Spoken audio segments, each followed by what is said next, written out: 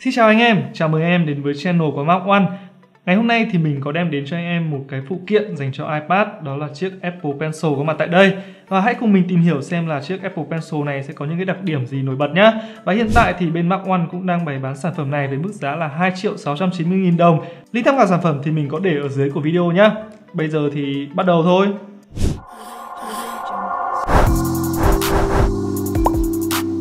Mark One số 1 về mark. Đầu tiên thì mình sẽ đi qua về cái thiết kế của vỏ hộp. Vỏ hộp được làm bằng hình chữ nhật, được thuôn dài theo cái kích thước của chiếc bút. Ở trên mặt trên thì sẽ có hình ảnh của chiếc bút Apple Pencil. Ở hai bên thì sẽ có logo nhà táo cũng như là có tên của chiếc bút này. Ở mặt dưới thì mình sẽ có những cái tem mác và ở đây nó có một lưu ý là nó dành cho các kiểu máy iPad hỗ trợ đầu nối Lightning và Apple Pencil. Và chiếc Apple Pencil này sẽ được sử dụng dành cho những cái dòng iPad Air thế hệ thứ ba trở lên, hay iPad mini thế hệ thứ năm, cũng như là iPad Pro. Và bây giờ thì mình sẽ thử mở hộp xem bên trong có gì nhá. Đây là dòng chữ Design by Apple in California này.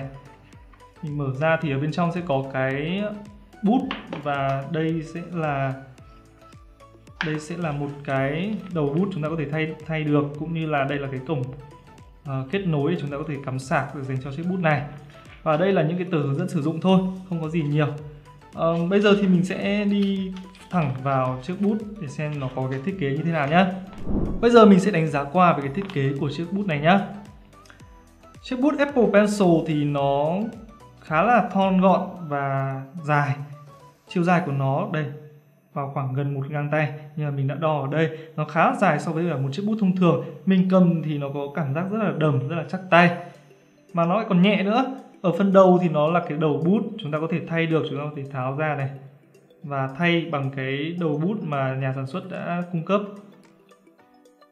Nếu mà nó bị mòn, chúng ta có thể thay được dễ dàng nhé ở phần đuôi thì nó có một cái viền. Viền này là viền bằng sắt, nó được khắc logo của Apple cũng như là tên của chiếc bút ở đây. Đây là phần nắp này chúng ta có thể mở ra. Nó có một cái cổng Lightning chúng ta có thể sử dụng để kết nối cũng như là để cắm sạc. Và cái nắp này thì nó có một cái đầu nam châm, nó có thể hút vào rất là chắc chắn. Khi mà chúng ta đóng vào nó sẽ nghe tiếng cạch như thế này. Đó, nghe rất là hay, đúng không? Về thiết kế của nó thì là như thế. Về thời lượng pin thì nó có thể sử dụng lên tới 12 giờ đồng hồ. Và nếu mà chúng ta muốn sạc thì chúng ta chỉ cần sạc khoảng 25 phút là có thể sạc đầy được 100% thôi và bây giờ thì mình sẽ thử kết nối chiếc Apple Pencil này với cả chiếc iPad mình đang có tại đây nhá. Đầu tiên thì chúng ta sẽ phải mở nắp ra và sau đó thì chúng ta sẽ cắm vào cái cổng Lightning của chiếc iPad.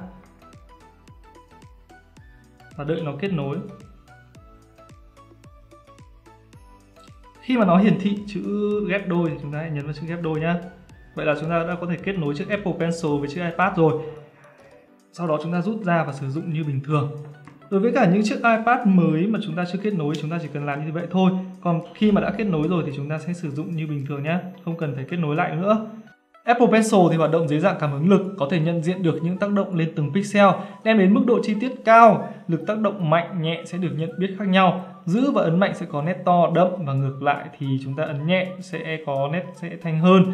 Đầu ngoài bút khi tiếp xúc với màn hình iPad thì tạo ra một cái lực ma sát nhẹ, đem đến cảm giác không quá trơn. Tuy không được như cảm giác của chiếc bút thông thường nhưng mà trong thời gian ngắn thì bạn có thể quen dễ dàng.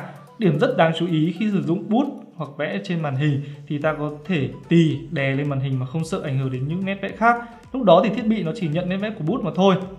Hơn nữa thì chúng ta đã có những cái phần mềm hỗ trợ rất là đa dạng cho chiếc bút này như là Adobe Sketch hay là Paper, Evernote hay kể cả ứng dụng Note có sẵn trong iPad khả năng chỉnh sửa, lưu giữ, chia sẻ không hề bị hạn chế.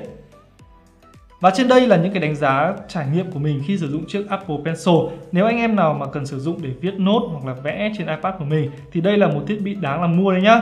Nếu anh em muốn mình review sản phẩm nào có thể comment phía bên dưới nhá. Còn bây giờ thì xin chào và hẹn gặp lại.